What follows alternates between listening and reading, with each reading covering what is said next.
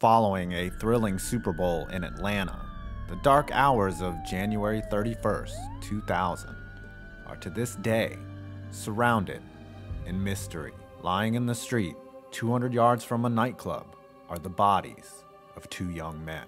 Ray Lewis, one of the NFL's up and coming stars, was at that club. He donned a white suit. He would later be charged with murder. His white suit has, to this day, never been found. Even after two Super Bowl victories and an induction in the Pro Football Hall of Fame, Lewis's reputation has never fully recovered. The mystery swirling around that night has yet to dissipate. Well, let's put it to bed. What really happened the night of January 31st, 2000? Do you know what I hate about football watching season? Getting up and doing anything. Nothing interrupts football. That's where HelloFresh comes in. HelloFresh delivers pre portioned meals right to your door, so you don't have to get up, go out, shop, or any of that.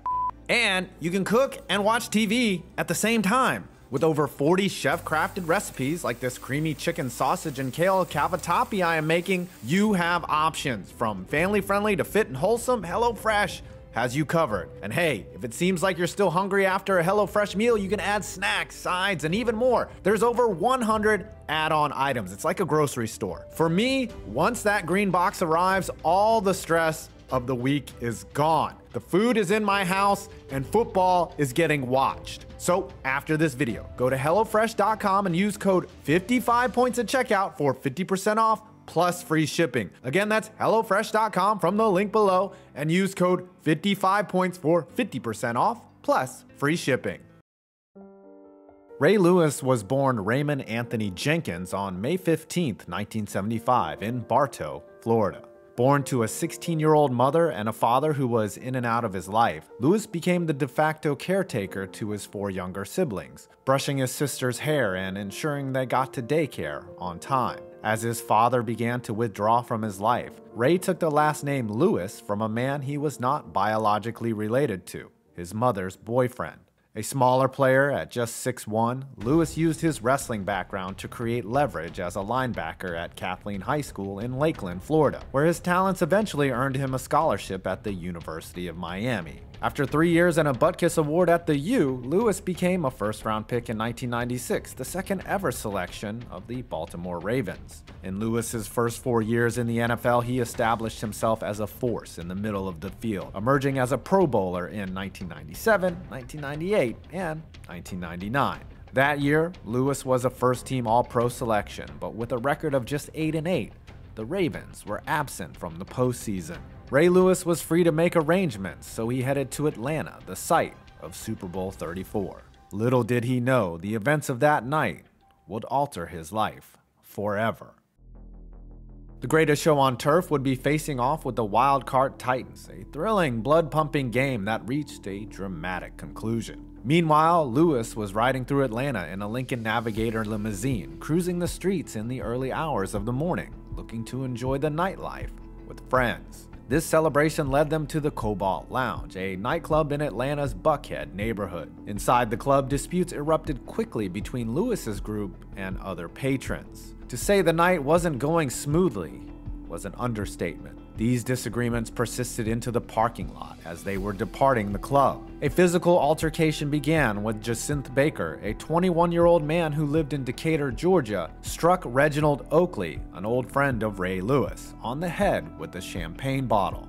This altercation escalated when the dust settled Baker and a 24 year old man named Richard Lollar were left dead in the street. The medical examiner from Fulton County later asserted that their fatal wounds, precisely targeting vital organs, suggested a level of anatomical knowledge on the part of the assailant. Precise. Surgical. Lewis hurriedly departed the scene in his limousine, accompanied by around 11 other individuals, including Oakley and Joseph Sweeting, old friends from Miami. Approximately five gunshots were heard as the limousine drove away. However, it remained uncertain whether these shots were fired from within the vehicle or directed at it from outside. Some hours later, Ray Lewis would be arrested and booked under suspicion of committing first degree murder and was detained without the possibility of posting bail. Meanwhile, Oakley and Sweeting had vanished. In a matter of hours, Max Richardson, an attorney representing Lewis, released a statement refuting any direct involvement in the deaths. Richardson maintained that the situation merely involved a well known public figure, coincidentally finding himself in the wrong place at the wrong time. Following the announcement of his charges, the Ravens linebacker addressed the media. He stated, The devil is busy, always after God's children. He is always trying to get you one way or another. And as we'll see, the devil is in the details. Let's skip ahead to the trial. Initially, Ray Lewis would stand trial for the murders, with the charges not dismissed prior to them reaching a courtroom. However, despite making it this far, the prosecution didn't seem too confident that they had enough evidence on Lewis. As the murder trial progressed over a few weeks, Lewis and his legal team reached a plea deal. The linebacker would plead down to an obstruction of justice charge, but he was also compelled to testify against his two friends who were involved in the incident. You could say it was a trade. Around the same time, NFL Commissioner Paul Tagliabue slapped Lewis with a fine of $250,000. But as details of the night came out, the Court of Public Opinion's eyebrows were still raised. During his initial interview with the police, Lewis had not been entirely forthcoming and had also advised others on that night to withhold information about the incident. His obstruction hindered an investigation into a serious criminal event, which caused a significant portion of the public to view Lewis's actions negatively. Still, despite the plea deal, if you thought he was guilty, it seemed like Ray Lewis had literally gotten away with murder, and the fine was just a slap on the wrist. Lewis returned to Ravens training camp later that same year. Even with the magnifying glass of HBO's inaugural season of Hard Knocks, he and the Ravens were poised for a breakout season in 2000. During that season, the Ravens managed to establish a remarkable record by allowing the fewest points, 165, and fewest rushing yards, 970, across a 16 game single season span. Their defense was nothing short of stifling, with Ray Lewis as the centerpiece. In Super Bowl 35 against the New York Giants, Lewis notched five tackles and knocked away four passes on his way to winning Super Bowl MVP. Usually, that person says, I'm going to Disneyland for a commercial. Instead of Lewis, the cameras picked out Ravens quarterback Trent Dilfer, asking him to say those five magic words. Dilfer can best be described as an active participant in the game. It was all on Ray Lewis. And Lewis would go on to win another Super Bowl in his final game. Another bizarre one. His ride into the sunset was an inspirational story. And despite some lingering public scrutiny, the red letter on his chest was beginning to fade, or actively be ignored. Did it ever belong there in the first place? What happened to that white suit? The incident. I am innocent, Lewis said in May of 2000. But of course, I've been ordered by the court that I can't speak about the case, so I won't. All I can do is sit back and wait for justice to take its course. Lewis spent his 25th birthday in a Fulton County courtroom on trial for double homicide. Just five years earlier, another NFL legend was on trial for murdering two people in Brentwood, California. There was an overriding sense that the prosecutors in that trial had failed in proving O.J. Simpson's guilt, and this time, the prosecution needed to put Lewis behind bars for the rest of his life. When Lewis took the stand on June 6th, he said that he saw the champagne bottle that struck an acquaintance and said that all hell broke loose. Lewis stated that he tried to break up the fight. Witnesses allege that Lewis threw a punch, though no one saw him with a knife in his hand. Security guard Kevin Brown watched as the action unfolded. Jacinth Baker and Richard Lollar both hailed from Akron, Ohio. Both had criminal records. Baker for violating probation on gun possession, and Lollar for possession of marijuana. Brown's testimony seems to provide the most detail of the fracas. He recounted the altercation quickly escalated, leading to Baker and Lollar being severely injured and lying on the street in a matter of moments. As Brown took action to clear the area of people, he saw Baker fatally wounded on the pavement. At the same time, he noticed Lollar walking towards them, also fatally wounded. Lollar had been stabbed five times, twice in the heart. Baker was stabbed twice, but his face beaten so badly he had to have a closed casket at his wake. The incident occurred around 200 yards away from the club where the altercations began. Brown's testimony also included that he saw a knife on the ground and heard someone admit, I stabbed him. Lewis and 10 others fled the scene, jumping into the stretch limousine. Shots were fired. Later on, bloodstains were found the limousine. A witness mentioned that during the ride, one of the passengers discarded a white hotel laundry bag into a dumpster outside a fast food restaurant. Another witness confirmed seeing a passenger leave the car and head towards a trash can holding a brown paper bag. Prosecutors claim that the bag contained Lewis's blood-stained white suit. The suit itself was never recovered. When the police caught up with the limo driver, he was shaking and chain smoking cigarettes, clearly traumatized by being caught in the midst of that violent outburst. Atlanta detective Ken Allen would testify that he found a small folding knife discarded on the ground next to the bodies of Baker and Lollar, matching the account given by security guard Kevin Brown. Investigators revealed that they traced the knife discovered at the crime scene back to the sporting goods store where Lewis had been autographing items on the day preceding the Super Bowl. Although a witness recounted seeing Oakley and an unidentified man with a knife, no one testified to witnessing Lewis holding a knife. Mysteriously, forensic examinations indicated a lack of blood or fingertips on the knife that had been found at the scene by Detective Ken Allen. To say Ray Lewis was unhelpful during the investigation is an understatement. Police officers testified that Ray Lewis's original police statement included a number of lies, saying he didn't know the names of the people in his limo and that Lewis refused to sign the statement, saying he had to leave for Hawaii to play in the Pro Bowl and would answer questions later. The dust had settled.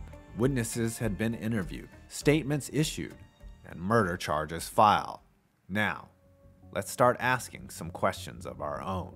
There were three people charged with murder in this incident. However, none of them served a single day in jail. In fact, Ray Lewis, the person who claims he is most innocent, was the only defendant to suffer any criminal consequences a 12 month suspended sentence and a misdemeanor for obstruction of justice. Along with Lewis, Reginald Oakley, and Joseph Sweeting were also charged with murder. But the question is why were they charged at all? The limo driver, Duane Fassett, provided the most damning link to the killings. Fassett told police he had seen Sweeting, Oakley, and Lewis all fighting or involved. He said he'd heard Oakley boast, I stabbed mine, and Sweeting reply, I stabbed mine too. The victim, Baker's blood, was found in the limo. However, nobody saw the stabbings take place, except the four or five people involved. So, where was Ray Lewis during all of this? According to him, he sat calmly against the limousine while the fracas occurred. But then why later would his white suit allegedly be so stained with blood it had to be thrown away? We know that because he made inconsistent statements. He would later be charged with murder. But did the police really have any evidence other than him being there? Nobody said they saw him fighting. Nobody saw him with a knife. Nobody saw him near the victims. It seemed overzealous for him to be charged with murder. Though, here's what I think really happened. Keep in mind, this is my opinion and purely speculation. However, a good theory is needed to put this case to bed. It was a rowdy bunch of guys at the nightclub. Lollar and Baker, the victims, may have just been in the wrong place at the wrong time. Or maybe they played into the rowdiness and didn't know who they were messing with. The key event was the champagne bottle that struck Oakley. We don't know if this was the start of the altercation, but it led to the end. Once everyone got outside, all hell broke loose. Oakley and Sweeting weren't backing down. Neither were Lollar and Baker. Unfortunately for them, they didn't know the people they were tussling with had knives, and it cost them their lives. However, if there's ever any good advice, walking away from an altercation is the best thing you can do. Ray Lewis likely took this advice and tried not to be involved, but he witnessed what happened and helped his entourage into the limo. He probably made physical contact with either Oakley, Sweeting, or both, with blood smearing all over him. 11 people in a limo. A chaotic scene. For as highly illegal and questionable as it was for Ray Lewis to discard his white suit, it was a brilliant maneuver, especially since it was never found. The one piece of evidence tying him to the encounter, though circumstantial, was gone.